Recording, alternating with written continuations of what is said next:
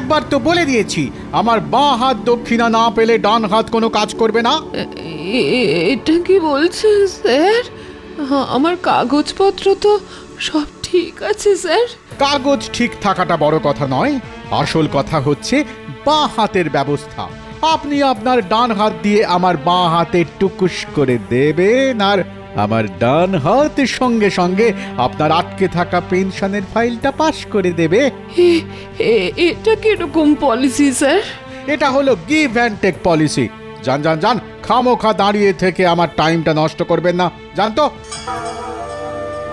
কি হলো কি? কথা কানে গেল না নাকি? আসলে স্যার আপনার বাঁ হাত ভরে দেওয়ার মতো টাকা তো আমার কাছে নেই স্যার টাকা নেই? তাহলে মানে মানে কেটে পড়ুন। তাহলে কিন্তু আমি দারোয়ান ডাকবো। যত সব।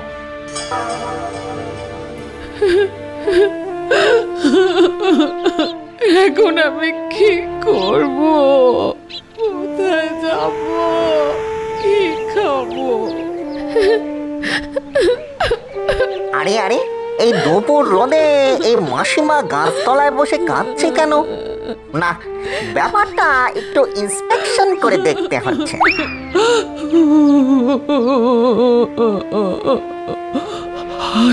রে কপাল। দিনে দিনে দুনিয়াটা কীরকম যেন বদলে যাচ্ছে। আমার হকের পেনশনের টাকা পেতে গেলে আমাকেই ঘুষ দিতে হবে। দূর দূর। এরপর এরপর আর বেঁচে থাকতে ইচ্ছে করে না। আর বেঁচে থাকতে ইচ্ছে করে না। মনে হচ্ছে কেস বেশ গুরুচর না একটু কথা বলে দেখি। হ্যাঁ, তুমি কাঁদছো কেন গো মাসি? না কেঁদে আর কি করব বাবা?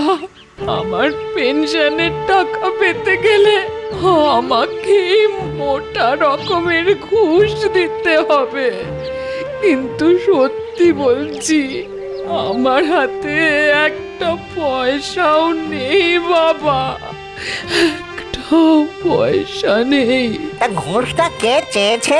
ওই তো ওই তো পেনশন অফিসে পরেশ বাবু জানো বাবা মা হাতের দক্ষিণা না পেলে ও আমার পেনশনের ফাইল ছাড়বে না বলেছে।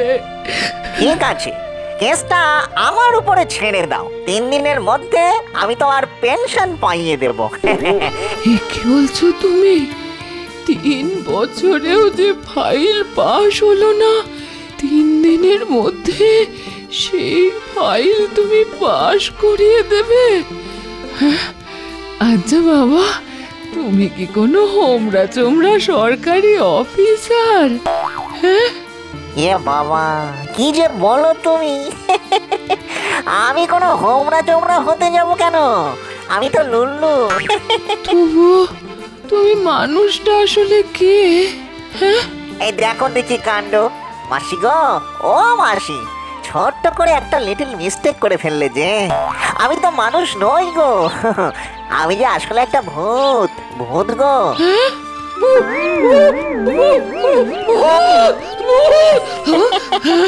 ভূত করলেও আমি কিন্তু ভয়ের নই, না? একদম না।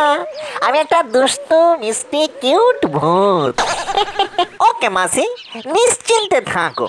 তোমার পেনশন পাইয়ে দেওয়া আমার বাঁ হাতের খেল।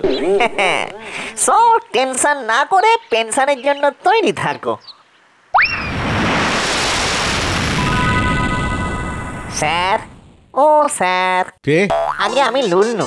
তা শুনলাম পেনশনের টাকা পাস করাতে আপনি নাকি বাঁ হাতে কিছু নিয়ে থাকেন হ্যাঁ? তো? না এমনি। আমি এখন শুট করে তোমার বাঁ হাতের ভেতরে গিয়ে ঢুকবো। তারপর দেখাবো আমার বাঁ হাতের খেলা।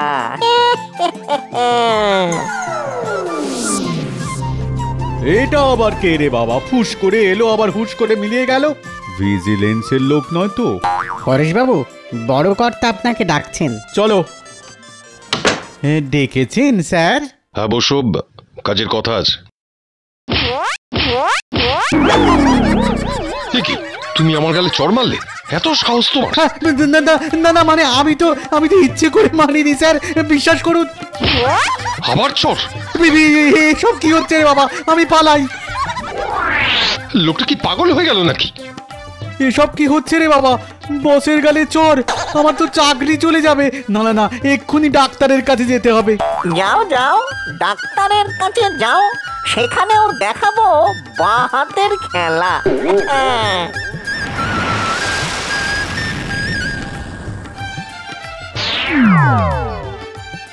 খুব দৌড়ে এলেন দেখছি। আচ্ছা বলুন কি হয়েছে? কি?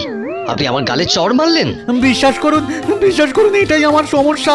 খানিকক্ষণ আগে থেকে না আমার বাঁ হাত আর আমার নিয়ন্ত্রণে নেই। যখন তখন যাকে তাকে চড় মারছে আমাকে বাঁচান ডাক্তার বাবু আমি আপনার কথা বিশ্বাস করতে পারছি না। আমার চেম্বারে এসে আমাকে চড় মারলেন। আপনাকে আপনাকে আমি পুলিশে দেব। তাই দিন তাই দিন ডাক্তার বাবু তাই দিন। আমাকে পুলিশের হাতেই তুলে দিন। সত্যি বলছি আমার শাস্তি হওয়া উচিত। হ্যাঁ হ্যাঁ আম- আমার আমার শাস্তি হওয়া উচিত।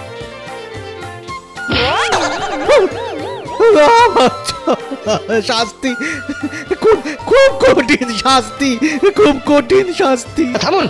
দেখুন আমার মনে হয় আপনার মাথায় গন্ডগোল হয়েছে। তাই আপনি বরং কোনো পাগলের ডাক্তারের কাছে যান। যান। যান বলছি। বেরিয়ে যান। বাঁ হাতটা আমার বারবার কন্ট্রোলের বাইরে চলে যাচ্ছে। কেন? কেন? কেন? কেন? কেন? সবই আমার বাঁ হাতের খেল কাকু। তোমায় আমি পাগল করে ছাড়বই ছাড়বো। জীবনের মতো বাঁ হাতে রোজগারে করে ঘুচিয়ে দেব।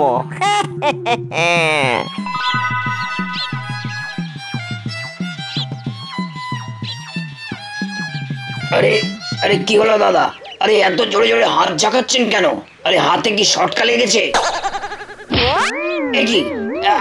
আপনি আমায় চড় মারলেন? দাঁড়ান দেখাচ্ছি।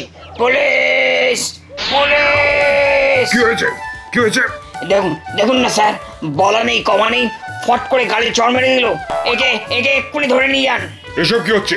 রাস্তার মধ্যে গুন্ডামি? এত বড় সাহস? গালে চড় মারা? দাঁড়া দেখাচ্ছি তোকে।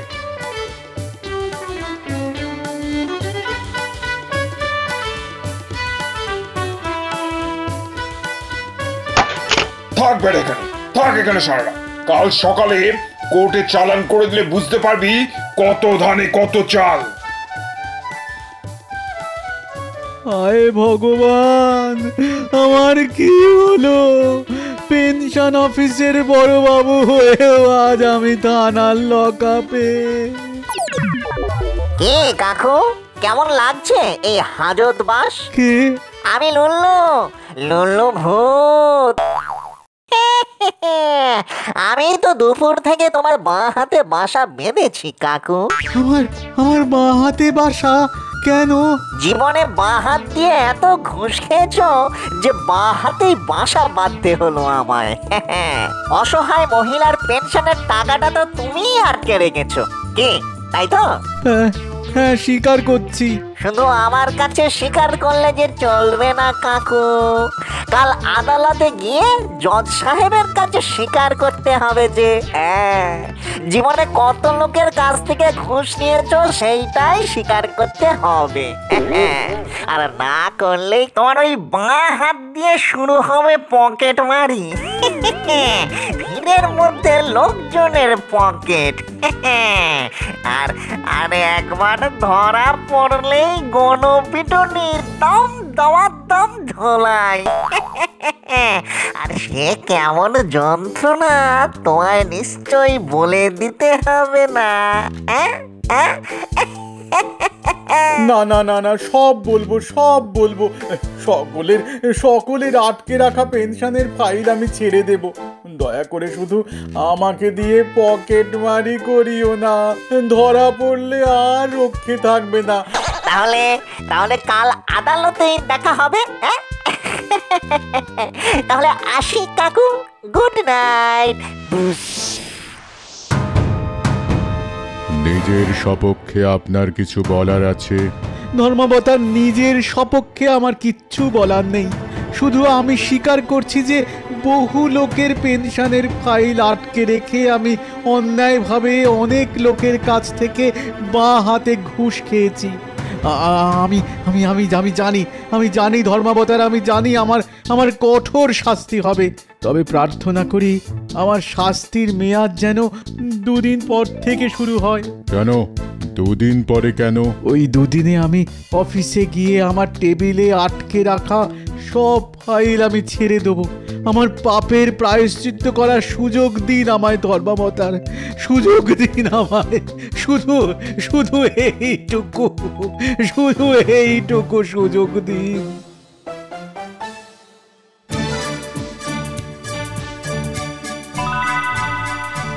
মাসি পেনশন হলো? হলো বাবা। আর সবই হলো তোমার জন্যে। আশীর্বাদ করি বাবা। দীর্ঘজীবী হও বাবা। দীর্ঘজীবী হও। কে যে বলো তুমি, যার জীবনই নেই, তার আবার দীর্ঘ জীবন।